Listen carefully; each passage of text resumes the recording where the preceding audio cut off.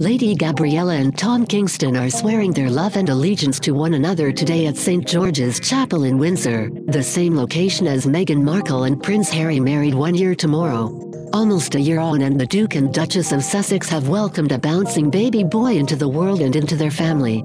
Baby Archie, only 12 days old today, appears to be absent from the festivities today.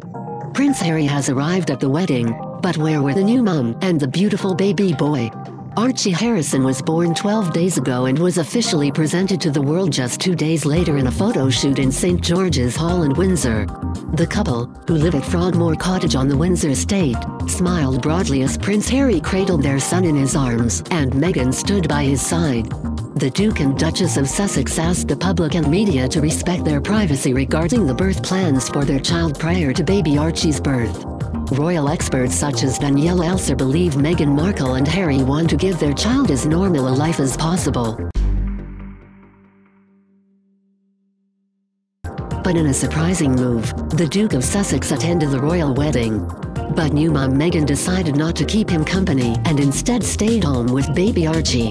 Unsurprisingly, the Duchess, having given birth less than a fortnight ago, decided to stay at Frogmore Cottage with her own mother Doria Ragland, who is believed to be helping her get to grips with motherhood. Prince Harry arrived with his uncle and aunt, the Earl of Wessex and the Princess Royal, who was joined by her husband Vice Admiral Timothy Lawrence. The Duke of York arrived by car with his ex-wife Sarah, the Duchess of York, and their daughter Princess Beatrice and her boyfriend Eduardo Edoardo Pellimozzi.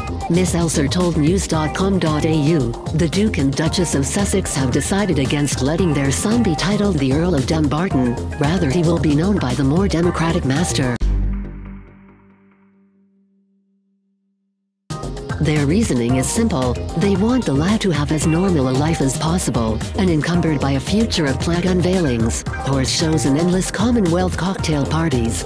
Also, perhaps more importantly, they want to keep him as far away from the glare of the intrusive, insatiable press as they can short of forcing him to grow up on an isolated Pacific atoll with no Wi-Fi. Yesterday, the birth certificate was unveiled to the world, revealing that the baby was born in a hospital rather than at home, which Meghan had reportedly wanted originally. The birth certificate also confirms Meghan delivered her baby at the luxurious Portland Hospital, which has been chosen in the past by Sarah Ferguson and Victoria Beckham, among many other A-listers. The lavish hospital's basic delivery costs begin at £15,000. After the publication of the birth certificate, the London hospital congratulated with the Sussexes. Given the infant is only 12 days old, it is unsurprising that he decided to stay home with his mother and grandmother instead of attending the wedding. But many royals including the Queen, Princess Beatrice, Lord Frederick Windsor, his wife Sophie Winkleman and their daughters Isabella and Maud did come along to celebrate with Lady Gabriella. The first guests were dropped at around 10.50 am today at the chapel by a bus.